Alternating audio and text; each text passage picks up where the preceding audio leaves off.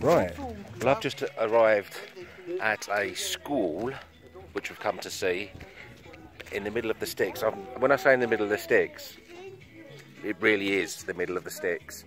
It took us about 40 minutes across a uh, the bumpiest mud road I've ever been on in my life to get here. There's the school. I, I don't think it's not up and running yet, but we're here to see what we can do to help. Um, and it's so in the sticks, I can't believe it.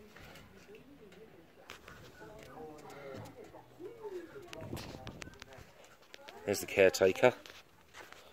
He's got, he's got his own little shed, that's where he lives. His little hut. Hello. Good, thank you. How are you? Good, good, my friend. My name's Austin.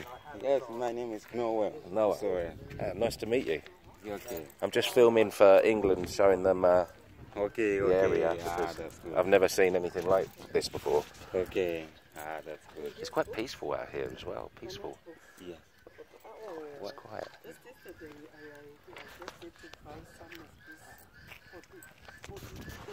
You were playing some good music out there. I was, I was rocking away. Yeah. Yeah, I liked it.